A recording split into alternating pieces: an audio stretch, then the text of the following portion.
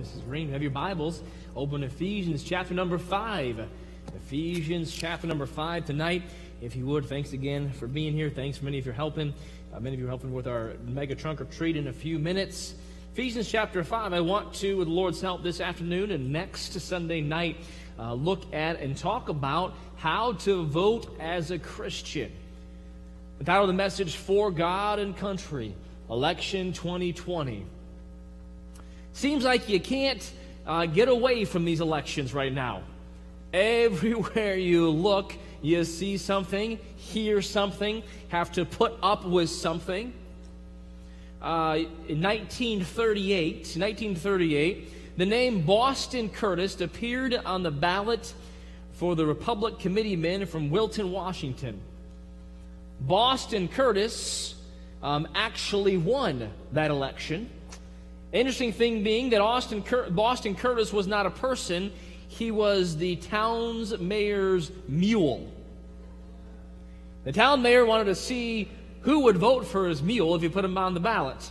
And sure enough, many people did and said, oh, and, and maybe that's happened to you before. You've looked at the ballot or you've looked at the issues saying, oh boy, I can't begin to understand what's going on. How do I navigate this? I've gotten some phone calls, some texts. They say, Pastor, how do I vote? Now, a couple of things uh, for separation of church and then with a 501c3 in the church, all right? What am I allowed to say from here? Well, first of all, I cannot tell you who to vote for, all right? I will help guide you and I cannot say who I'm voting for while I'm preaching. Okay? But if I'm not preaching, and I'm preaching right now, so I won't say right now, then I can say whatever I want to say as a citizen of the United States. All right, so pastors are absolutely allowed to have an opinion about this stuff uh, without losing and, and, being in danger of tax exempt status or anything like that. Uh, some will, will put you on a fear mongering that say, well, church can't do anything like that. In fact, next Sunday morning is our public servants day, and we'll invite all the candidates, whoever can come, to come up here. We'll all let them say a, a word of greeting, and that's perfectly acceptable, perfectly legal, uh, because we're not endorsing one or the other in that regard. But there's some issues that as Christians we have to talk about that we have to know about in, in election and especially this ele- election. We live in a, in a strange time, do we not? All right, it seems that, that everywhere you look, there is some type of political ad or um, debate that is full of slander and self aggrandizing speech. Look how good I am, look how bad someone else is. I don't know if you're ever on YouTube, but on YouTube, every seems like every YouTube video for church or whatnot begins with a political uh, uh, advertisement. Seems like you can't spend more than a minute on social media and not see advertisement after advertisement. This is why I'm better than the other person. Has it not seemed like throughout the COVID crisis and pandemic that it has been incredibly politicized? All right, that everyone has claimed what they have done as successful, and it says, oh, look at me, what I've done. I've been incredibly successful, therefore vote for me. But incredibly politicized. It seems at times more politicized than it has been successful. Rather than figuring out how to make it work, just make this a platform for me to, to be better than somebody else on there. Beyond that, it becomes tiresome and wearisome. You turn on the television or turn on the radio, and yet again, it comes. It seems to be bombarding us. And it seems as if everyone we know has a very strong view of politics. Most people are not moderate in their political views, they are extremists in the sense that what they believe, they believe strongly. If they're pro this one candidate, they will be as strongly as this one may be against that candidate. And it, it is, it is a, a source of stress and conflict you can look on social media at times and you just see argument after argument after argument. Sometimes foolish arguments, or maybe often foolish arguments. Well, how do we navigate this as a Christian? What are we supposed to do? Does the Bible talk about that at all? Does the Bible tell us how we ought to live? Does the Bible care what we post on social media? Does the Bible dictate to us how we ought to vote in an election? How do we navigate these times uh, as a Christian? You see, I don't have to really, for a democratic process to work, I don't have to agree with you. I don't even have to really like you. In fact, some of you are like, well, I don't like you, Pastor. Fair enough. Fair enough. I don't have to be the same as you. Someone said this in a democratic process that every vote can count, even votes that are stupid or vicious. It's true. Every vote can count. They said the difference is in other countries, those votes actually run the country. In our country, they just count as a vote. So I'm thankful for the country we live in, all right? Don't get me wrong. I'm thankful we live in America. I'm thankful for that. But we live in dire times, not because of a great political divide, though that is, that is, that is just one symptom of the greater problem. All right, some would say, and even some Christians would say, wow, we are just in a whole heap of trouble. That if, that if, um, if we don't get the president we want in the November election, then we're in a whole heap of trouble and this country is going to be over. We are in dire straits and dire times, but I would suggest and submit not for the same reason as some may think. I would suggest and submit that we're in dire times because we've strayed far from the Lord and the house of God, people of God, have strayed far from the Lord. And one symptom of that is a broken country. The Bible teaches us that. And there are times our country is broken and it needs our influence from the gospel. I found, or someone found for me some of these statistics. Why we live in dire times. Do you know that 50% of regular churchgoers say they've never had a religious experience that changed their life? I'm sorry, 57%, not 50, 57%. So that means 57% of all regular churchgoers would not even say they'd have a regular experience uh, that changed their life, a religious experience that changed their life. Over 20% of evangelicals, and we are evangelicals, all right? We believe in the Bible, evangelists, all right? Evangelicals. Over 20% are not even sure that heaven is a real place. Now, how can we not believe heaven is a real place if we don't even start with some basic Bible truths? All right, God is real, Jesus died on the cross, heaven is a real, literal place, as is hell. We're in a heap of trouble. 69% of churchgoers believe everyone will go to heaven. 52% of all Christians, those who claim to be Christians, believe that non Christian faiths can lead to eternal life. There was a well known Christian leader who, in print in a book, said that Christians and Muslims worship the same God. All right? We do not worship the same God. All right? We have a different book. Ours is not the Quran, ours is called the Bible. Uh, Jehovah is different than Allah. All right, we worship different gods. There's a different way to heaven. There is a different punishment. We worship different gods. Well known, well known um, Christian evangelical leader. Even he's, he's a Baptist and says that Muslims and Christians in print worship the same God. We do not worship the same God. And 69% of all churchgoers believe that everyone will go to heaven. They said that they, they interviewed uh, even young Christians ages 18 to 24, and more than half, from 18 to 24, 18 to 24, more than half believe that the Bible is the Word of God. More than half of them believe that. That's a travesty. If, if we were to go through our school and ask our young people, do you believe the Bible is the Word of God? And if only half believed that, we would not say, wow, that's successful. If 51%, if more than half, we'd not say, wow, we are doing a great job at Bridgeport Baptist Academy. Would we? Or would we say, oh my goodness, we have dropped the ball? All right? We are in dire straits not for the same reasons because the country is broken, but because as Christians and because of God's truth, we've dropped the ball. Get this one atheists and agnostics, on average, score 15% higher on knowledge of religion than evangelical Christians. I didn't make these statistics up.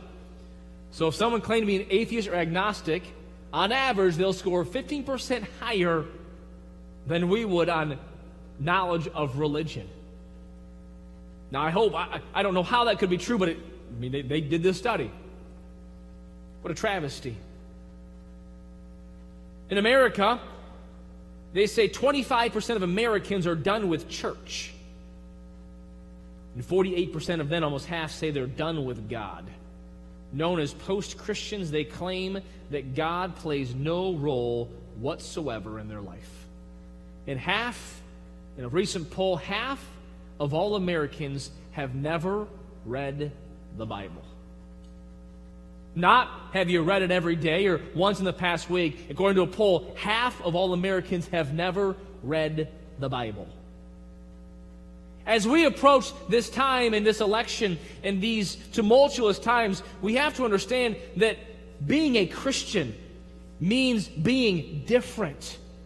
We are called to be different. We are called to be salt and light. We are called to look at these things through the light of God's Word. Sometimes in, in, this, in these elections, people get sidetracked by issues that are not core issues. What's important? What does God care about? What are some core issues? Lord willing, next Sunday night, I'd like to deal with a couple of those core issues that I believe are found clearly in God's Word.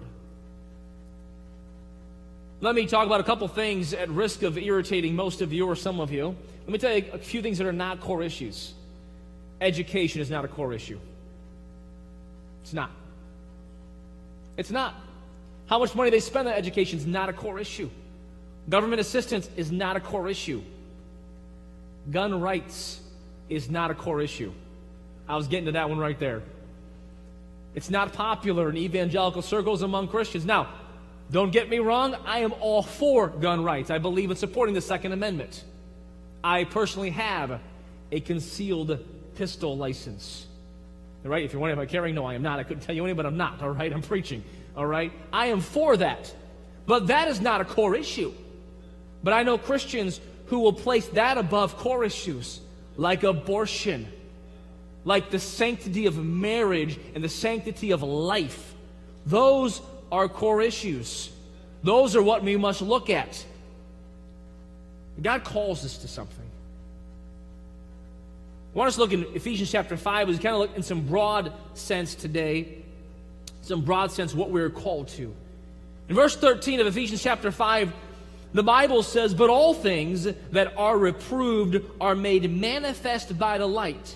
For whatsoever doth make manifest is light, wherefore he saith, Awake thou that sleepest, and arise from the dead, and Christ shall give thee light.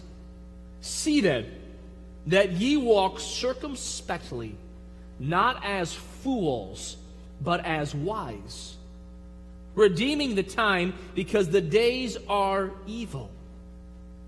Wherefore, be ye not unwise, but understanding what the will of the Lord is, and be not drunk with wine wherein is excess, but be filled with the Spirit speaking to yourselves in psalms and hymns and spiritual songs, singing and making melody in your heart to the Lord, giving thanks always for all things unto God and the Father in the name of our Lord Jesus Christ, submitting yourselves one to another in the fear of God. Lord, help us in the next few moments. May our hearts be touched. Lord, may we look at how you want us to walk and live in this present day and time. Lord, may we walk circumspectly as wise, Lord, not as fools. In Jesus' name. Amen. Let me give you from this passage just a few thoughts, a few brief thoughts this afternoon, and then build upon that next, next Sunday night, the good Lord willing. How we should walk in this time. The, the Bible says, redeeming the time because the days are evil. Days are short. Days are vain, and we live in an evil time. I don't think anyone would argue here or online that, that these days are not great days. There's some turmoil out there. There's a lot of things at stake out there. And more than ever, Christians are called to a few things. First of all, they're called, I believe in these verses, they're first of all called to an awareness. Verse number 13. But all things that are approved are made manifest by the light. For whatsoever doth make manifest is light. You see, God is a bringer of light. God is light, all right? He will make evident the truth that we crave and so desperately need. What that means is that God brings to us discernment. As a Christian, I should have spiritual discernment, spiritual light. Have you ever talked to a Christian that, or claims to be a Christian, that as you talk to them, there seems to be no spiritual light? Everything they say seems to have a, a worldly or secular slant to it. Every argument they bring is, is not even one that would have a foundation in God's word. It's, it's not, there's like, it seems like there is no light there at all. It's kind of a conundrum. Kind of like, I don't know why you're talking this way because you sound just like anyone else who once saved. Have you ever talked to someone, though, his, who is a spiritual person? And you've been touched by their spirituality while they talk.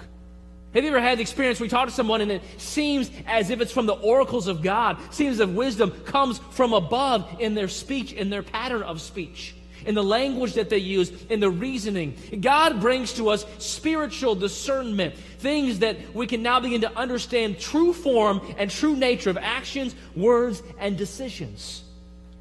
You see, if we're not careful, we will navigate this world through our own senses. How I, how I see, how I relate, and how I decide. We'll make decisions. Oh, this is a good candidate. This is not a big deal. Uh, rather than from the light from God's Word. This, God, this Word brings discernment to us.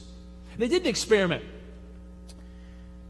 They tried to figure out what is easier for you to understand or to tell the difference of a quarter of an ounce or a quarter of a pound. Upon this experiment, they had a ball, two bowling balls, and one bowling ball weighed 10 pounds, and the other bowling ball weighed 10 pounds and a quarter ounces, 0.4 ounces. Then they had two envelopes. One weighed an ounce and another half, and one weighed an ounce and a quarter. They say, they tell me, that is easier to tell the difference between the two envelopes.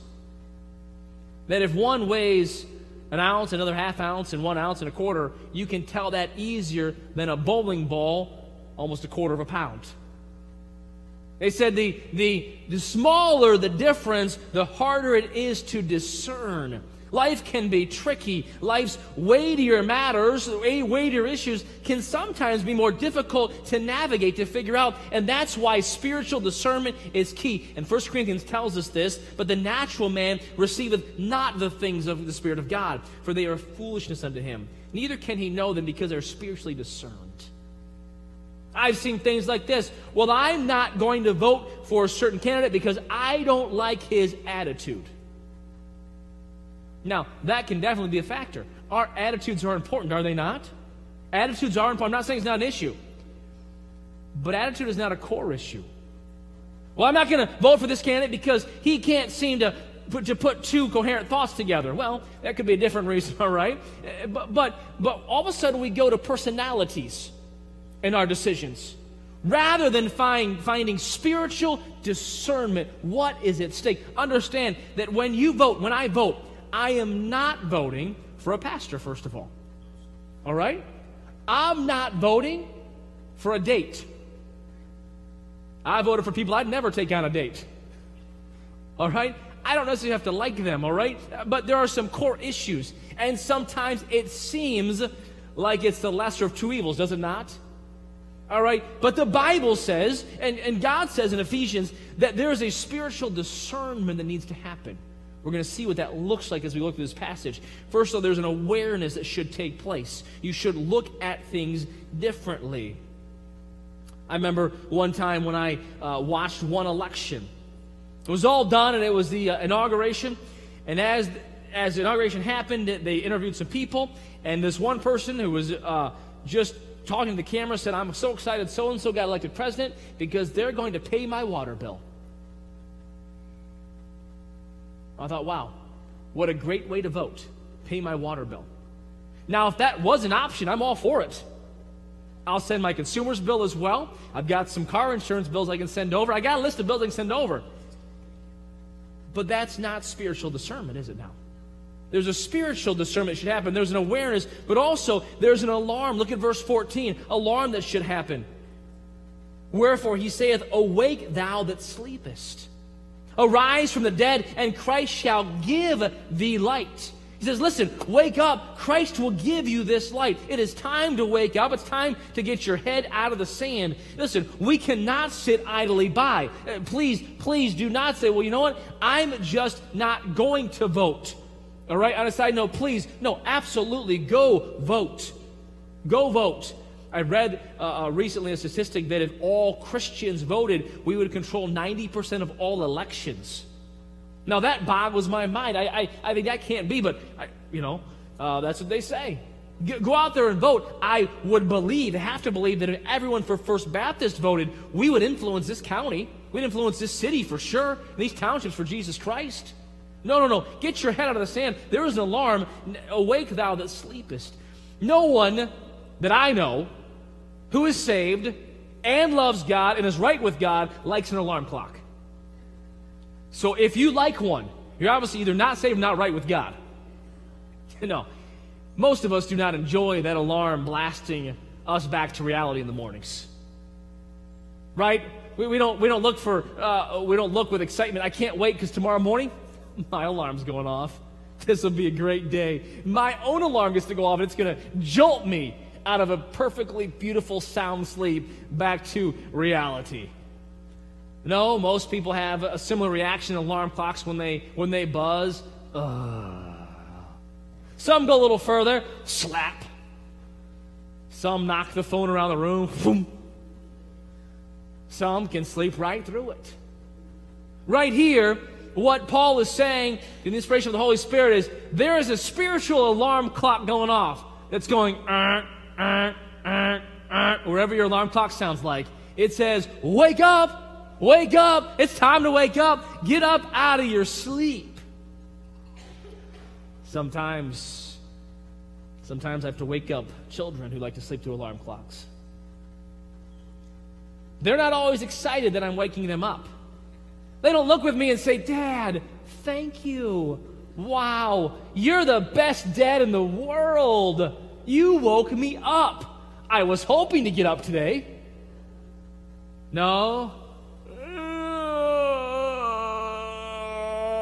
Uh, get out of bed, Doreen. No, no, I'm just kidding. I'm just kidding. That's not true. No one likes an alarm clock. I don't know about you, but I've had I've had a, a dead arm on alarm clock day before. You ever have you ever I sleep on my arms? You ever have your arm be dead when the alarm clock's going off? You're trying to trying to turn it off? Boy, terrible feeling. All right, you're trying to get your arm across there, it won't even work, right? You drag it over, you know, you drag it off, so now the alarm clock's buzzing on the floor, burn, burn, burn, burn, terrible feeling. The spiritual alarm clock going off. It says, Awake thou that sleepest. Christians, we put ourselves to sleep in this day and age. We go about our business, live our lives, casually share the gospel, try to have a limited influence around us, and we are, in essence, asleep. We're in dire straits because there's not an awareness, because we're asleep. It's time to wake up. There's a call to action in verse number 15. It's an interesting call to action. I recently went to a meeting uh, of pastors for the political things, and, and people will draw different conclusions about what the best course of action is. All right, and I think we ought to be involved in government. I think uh, there are things we can do. We ought to be well informed. In fact, on the back table, there's some voter registration guides, some other uh, information for you to help, uh, and voter and voter guides back there. And so, please take full advantage of that. But my main job is not to go to Lansing. My main job is not to go to Washington, D.C. My main job is to further the kingdom of God. That's why verse number 15 says this See then, that ye walk circumspectly, not as fools, but as wise. What does circumspectly look like? Well, it means walk, first of all, diligently, or walk in this life on purpose. When you vote, when you interact, do it on purpose.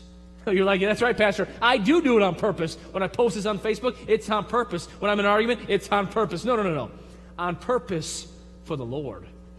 Purposefully Christian. Purposefully spiritual. Purposefully wise. Full of wisdom. You know what that means sometimes? That means sometimes you ought to shut your mouth. Let me break it down for you. Just shut up sometimes. All right? You shouldn't say that when you preach. I probably shouldn't, all right? But you'll get that now, all right? So, you know what? Someone's spouting off. then remember that a soft answer turneth away wrath. The grievous words stir up, stir up anger. Listen, you can have the argument, but you can just walk as a Christian and not. You can just say nothing. You can just not post. You can just say, well, that's interesting. That interesting, that says it all. I didn't say I agree with you, I just said it was interesting. But what do you think is interesting? the fact that you look so intelligent, but you're actually a moron. That's interesting.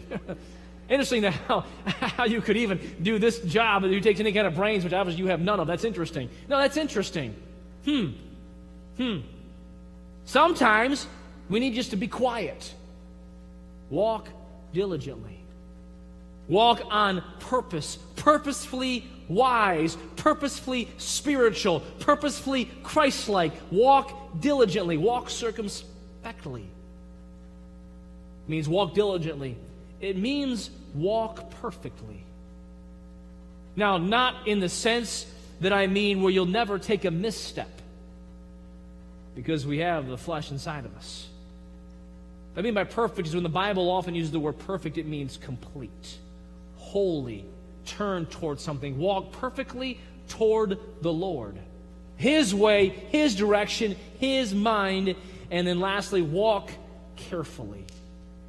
Walk carefully, not foolishly. The qualifier is in the relation to the light that is in me. Do I know what God's desires are, or have I been influenced by culture? Of that same group, the 18 to 24 evangelicals, nearly half of them, right over half, believe that the Bible is the Word of God, nearly half favor same sex marriage. Nearly half. We're in dire straits. That's not a heart that's perfect towards God, toward God. You don't get that from reading your Bible. You get that from walking according to culture, not God's word. Do I know what God's desires are? Do I have the heartbeat of God? Do I have the thought of God? Look at verse 8 in closing. I think this is the key that unlocks the passage. Ephesians chapter 5, verse 8. For ye were sometimes darkness. Before you were darkness, you were foolishness, but now are ye light in the Lord. Walk as children of light. Christian, you're now a child of God, so act differently. You're a child of God, so speak differently. You're a child of God, so live differently, or live life in a light with a light focused life. That means God's word should influence my thoughts, decisions, and speech. We have right now in our country a great divide on equality, racism. We find the answer in God's word. Lord, we'll get to that next week. We're all created equal.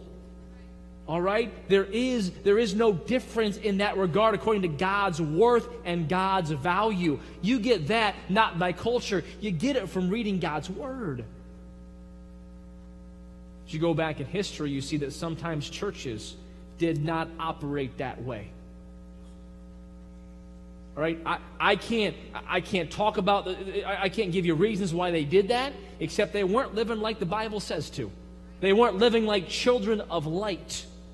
We ought to live like the Bible says to live. Live with a light focused light. Allow the light of the gospel to influence your thoughts, your decisions, and your speech. There could be one thing for Christians. I would encourage you to temper your speech with the light of the gospel. You can attract people with the beauty of the gospel